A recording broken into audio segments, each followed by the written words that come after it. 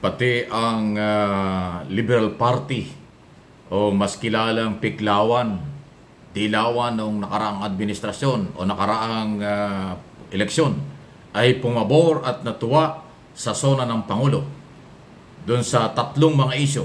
West Philippine Sea, campaign sa illegal drugs, at saka ho yung issue sa Pogo. Lalo na sa Pogo. Pakinggan niyo itong reaksyon ni ah, Senador uh, Risa Ontiveros, Chairman ng Committee on Women, Children and Family Relation ng Senado na nag-iimbestiga sa issue ng Pogo. Talagang matut makikita mo yung tuwa at saya ano ha? Ayan no? Congratulations. You've been hoping for this announcement for a couple of weeks or maybe probably years Yeah. now. What was your reaction when the president announced that position on Bogos? Ayan, interview yan. I was very relieved and of course very glad. Kasi uh, there was a certain point, akala ko patapos na si Presidente sa zona nila. And uh, incredulous ako na, ano, hindi niya babanggitin ng Pogo? Tapos biglang sa huli pala, inanunsyo niya yung planning ng Pogos effective today, winding down ng Pogo operations hanggang katapusan ng taon, at paghahanap ng alternatibong hanap buhay, disenteng trabaho sa some tens of thousands sa mga kababayan natin na nagtatrabaho pa sa Pogo. So, malaking tagumpay ngayong araw sa mga babae at bata na nagsumbong laban sa Pogo, tagumpay sa mga whistleblowers na nagsumbong tungkol sa Pogo, tagumpay sa over the months dumaraming mga government agencies na nakipagtulungan sa amin tulad ng PAO, yung NBI, ah, at iba pa. And I think tagumpay sa lahat nating mga Pilipino na mga kababayan, mga, mga netizens na talagang sumubaybay dito at talagang idinagdag ang kanilang mga boses na ayaw na natin sa pugo. Huwag natin kalimutan yung mga government officials na nagsalita na rin itong nakaraang mga linggo, ang Finance Secretary, ang NEDA Director General, pati yung mga business organizations na nagsalita laban sa pugo. So, malaking tagumpay po para sa ating lahat ngayong araw. And ma'am, you said napatayo kayo kanina, which was the first time? Oo. First time, I stood up to clap uh, for the president.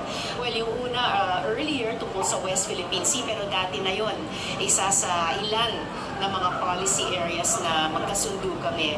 Pero this one was the first time for me to stand up uh, and applaud at Asona uh, dito sa kanilang desisyon laban sa Pogo. Ma'am, do you think the government can solve the problem, can eliminate Bogos by the end of the year? I think that's a good Order yan, uh, kayang-kaya yan. timetable. Ideally nga, ngayon na, di ba?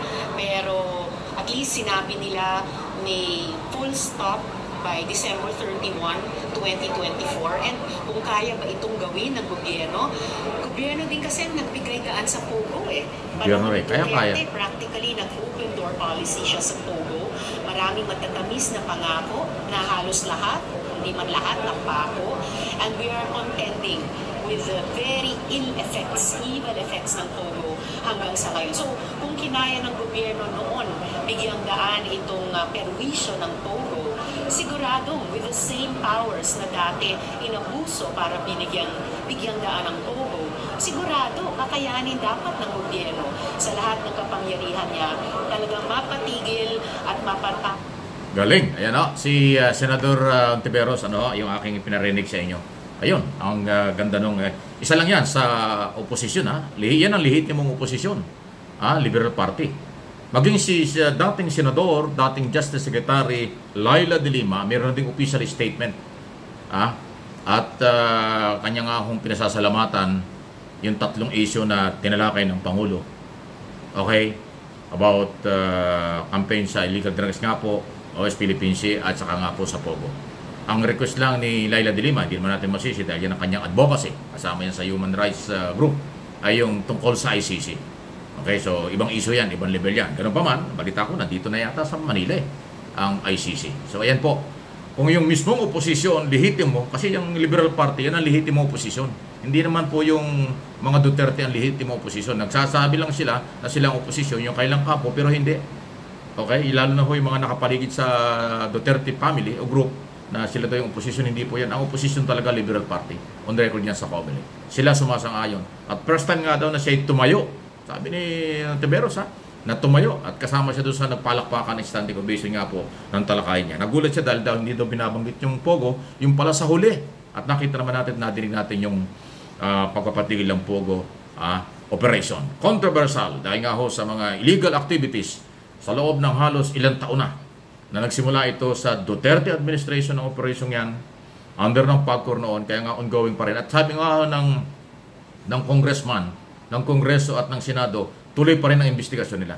Lalo na ngayon pinapatigil ng Pangulo, mas lalong tatapang ang mga congressman at senador para alamin ang totoong nakinabang at nakikinabang sa matagal na panahon. Kaya marami hong iiyak dyan kasi marami hong nakinabang dyan. Ah, maraming perang gumalaw kasi billion, trillion business po ang Pogo. Kaya nakakapagtaka na napakaliit, kakapiranggot lang. 17 million lang, billion lang pala pumapasok sa nakaraang administrasyon.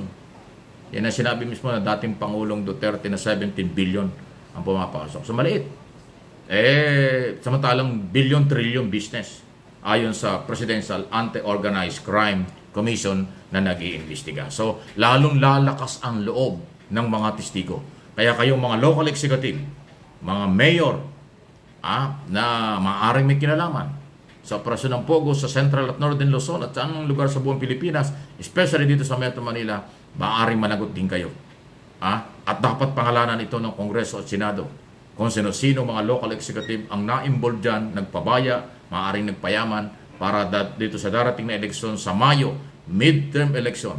Lahat ng politikong nakinabang ng illegal, naging protektor ng Pogo, dapat huwag nating iboto sa midterm election Maghahalal tayo ng labindalawang senador. Pag na-identify na sila involved dyan, huwag nating iboto sila. Governor, mayor, at sino mang mga local executive uh, ex- local candidate na involved dyan, huwag nating iboto. Kaya dapat lang ho, ituloy-tuloy.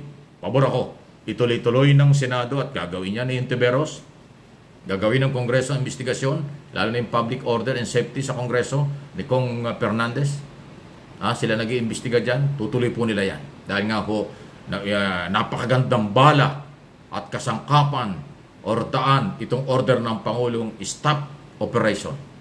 So, pag sinabing stop operation, so wala nang perang gagalaw para gamitin sa pagbibigay ng proteksyon kung meron man.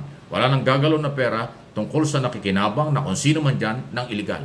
Kasi nga, pinatitigil na. At kayang-kayang gawin niya ng PAGCOR. Mm-hmm. Big challenge ito sa PAGCOR management. Paano gagawin? At ng mga otoridad.